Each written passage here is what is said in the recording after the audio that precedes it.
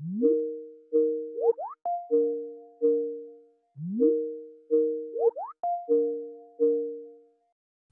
guys, I'm Angie and today I'm gonna leave my camera off and show you how I made this face mask.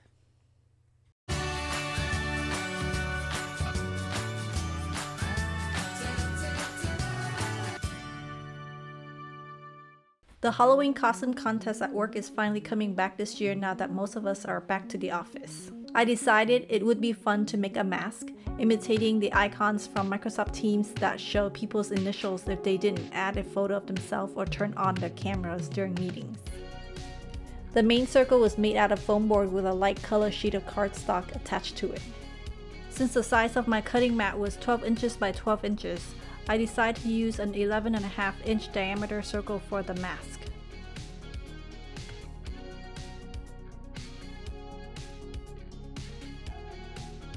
I tentatively added the letters to the canvas.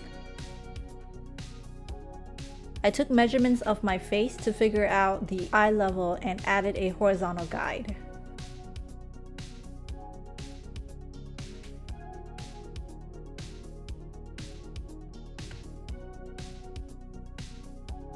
I also added vertical guides based on the spacing between my eyes. The goal was to have the eye holes completely within the letters for them to be less noticeable.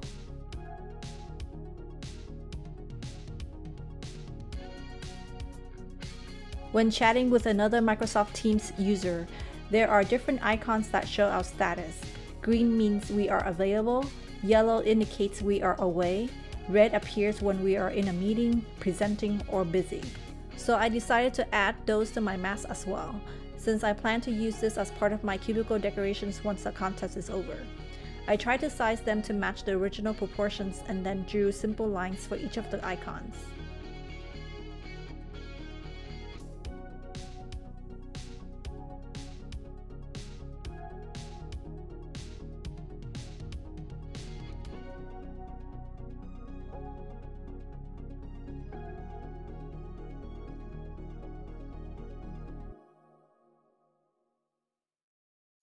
Then it was time to Cricut all the pieces and assemble them together.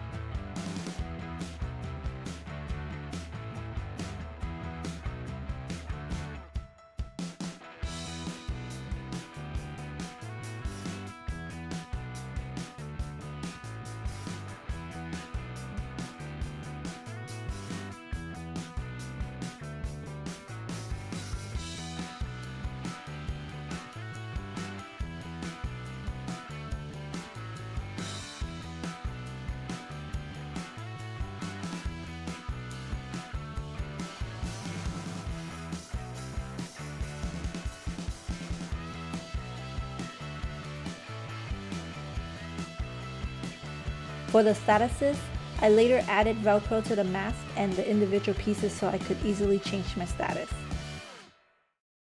During a Teams meeting, the current speaker with camera off will get a glowing light surrounding their icon.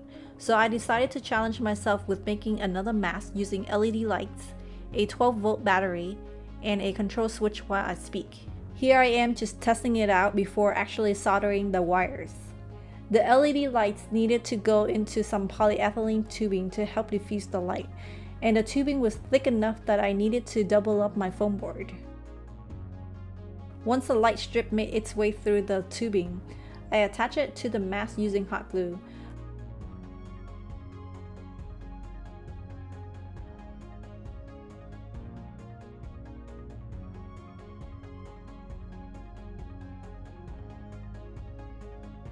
I sealed up the gap on the back for extra reinforcement. It's a bit clumpy but it's on the back so I'm good with that. I decided to have the opening on the side of the head so the wires could easily go behind my ear and then down the back of my neck. Next, I soldered the wire and added heat shrink tubes to get the wire down my back and into the pocket where I could control the switch. I attached the switch on the outside of an old Altoids tin and hit the rest of the wires and battery on the inside.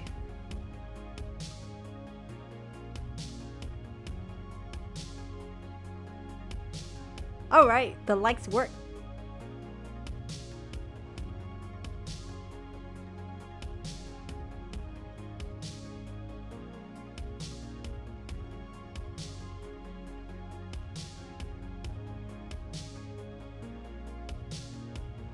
If I were to redo this project, I would change the direction of the light strip so it can come up and easily rest on my ear. Right now I have to loop it around the elastic band a few times to hold it up.